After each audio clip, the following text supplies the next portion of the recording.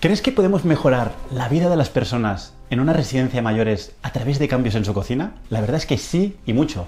Y por eso hoy te quiero compartir un caso de una residencia de mayores en Asturias que humanizó su cocina y que han conseguido importantes beneficios. Han creado desde una sala de reminiscencia con artículos de la época e introducido comidas tradicionales para que personas con problemas cognitivos les han permitido activar algunas de sus memorias y mejorar su bienestar. Mi nombre es Albert Cervera y estoy especializado en la humanización de organizaciones. Yo os quiero presentar un proyecto llamado Sabores de Vida, realizado en la Residencia de Mayores Colisée Plaza Real de Gijón. Y es un ejemplo de cómo, a través de la transformación de todo el ambiente del comedor y del tipo de comidas utilizadas, se puede mejorar el bienestar de las personas, activar memorias, incluso hasta mejorar su orientación. Y esto nos lo va a contar Ana Madrazo, que es la neuropsicóloga y quien ha liderado el proyecto. Es un proyecto de alimentación, como te comentaba, que lo que trata es de estimular la recuperación de los acontecimientos de vida significativos, pues con un taller que lo que va a hacer es recrear la elaboración y la degustación de comidas típicas y tradicionales de Asturias. Os imaginaréis que eh, la fabada eh, es nuestra comida típica. También ponemos un arroz con leche y un culetín de sidra que, les encanta. Lo que hacemos con esto es que eh, al presentar un estímulo como este, como un menú tradicional, lo que vamos a originar es una evocación, un recuerdo vinculado que mediante una sesión que vamos a ir dirigiendo o el terapeuta o el que esté en ese momento en, en la sala, pues va a conducir a un relato espontáneo de emociones, de experiencias, de vivencias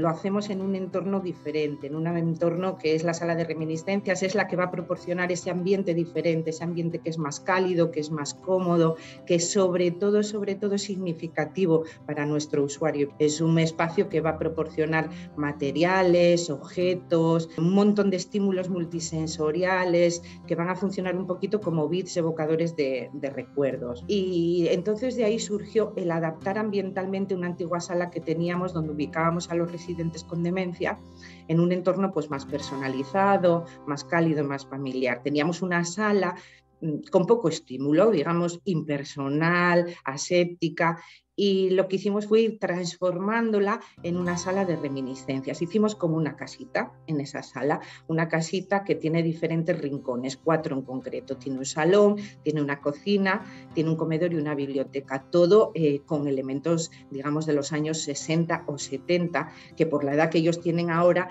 es lo que un poco les evoca a, esa memoria a largo plazo que ellos tienen más, más conservada. En esa sala pues se sienten cómodos, se sienten rodeados de elementos que conocen, que saben manipular inclusive, pues hay un teléfono antiguo, hay café de manga, hay una cocina de carbón. Dentro de esa sala trabajamos reminiscencias que en todas las dimensiones de la estimulación auditiva a través de música de la época, con canciones de aquel momento o estímulos olfativos, para que veamos la importancia, lo importantísimo que es el ambiente, el que humanicemos esos ambientes, el que esos ambientes pues, sean mm, ambientes no hospitalarios, no hoteleros, sino ambientes pues un poco como, como casa,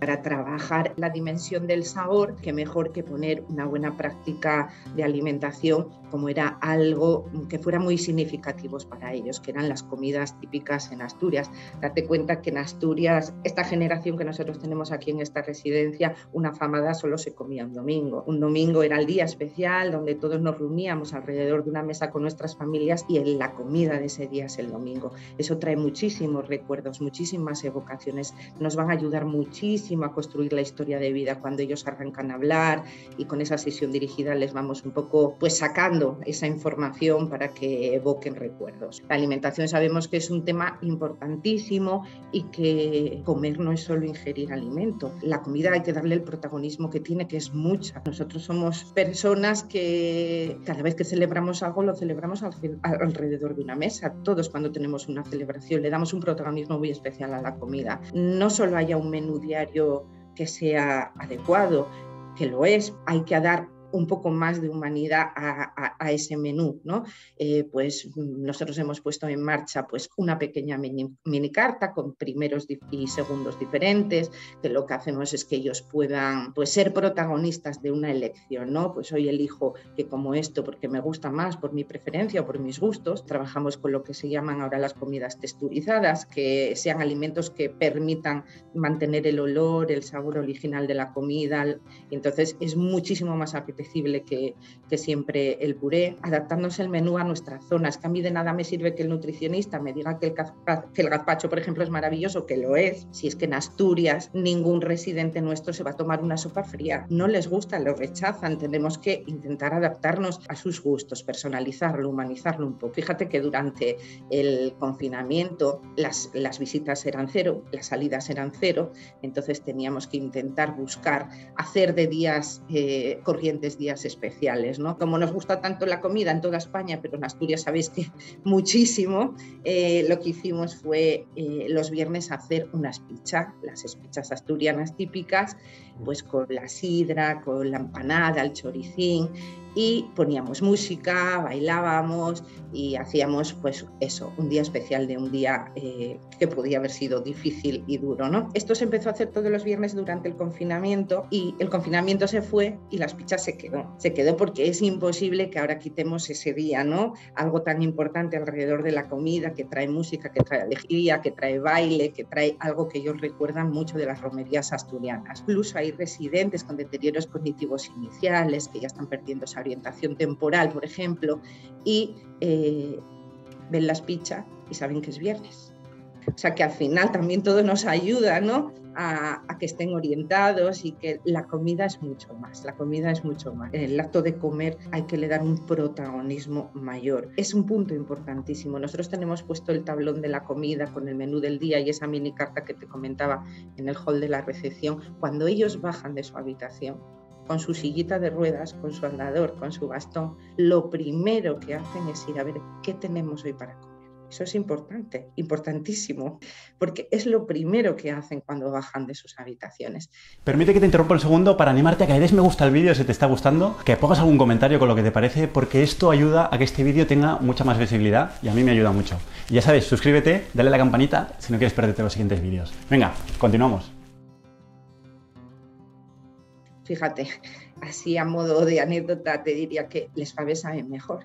Les faves que comen aquí en la residencia, en el, comedor principal, que son las mismas que vamos a comer en la sala de reminiscencia, pero en ese comedor específico, en esa mesa de la cocina especial, donde solo comen cuatro residentes, acompañados de uno de nosotros, guiados por uno de nosotros, con un mantel especial, una vajilla antigua.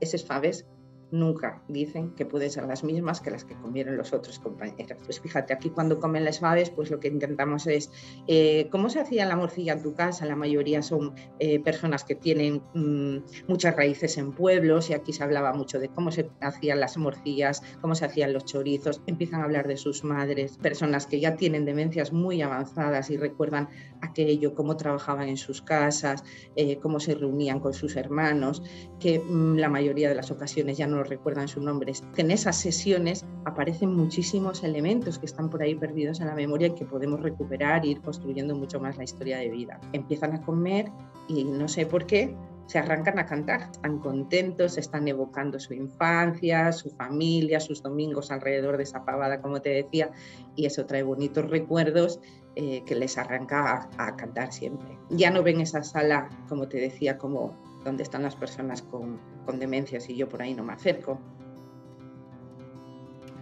implicaron otros residentes pues haciendo tapetes, las que sabían hacer tejer, nos hicieron los tapetes para los sillones, para las mesas, las familias se implicaron trayendo fotos antiguas, elementos que tenían en su casa, un proyecto en el que colaboró todo el centro, en el que colaboró además eh, todos los trabajadores, que nos motivó muchísimo, el chico de mantenimiento que hizo una labor excelente, pues fíjate, tenemos una televisión antigua donde él colocó dentro un USB para poder ponerles hasta el nodo. Y ellos son capaces ahí de, ver el nodo mientras comen les faves y van ahí todavía haciendo mucho más ambiente. Entonces yo creo que ahí sí que hay que humanizar un poquito las cocinas, los comedores se humanicen de otra manera, que sean más pequeñitos, que podamos darles el protagonismo que ellos necesitan a la hora de la comida. Solo fijaros cuánto tiempo pasamos comiendo, hablando de comida y la cantidad de acciones, emociones y experiencias que están asociadas al acto de comer. ¿Por qué entonces no deberíamos darle la misma importancia a la comida que estamos dando a nuestros mayores en una residencia? De verdad que es que hay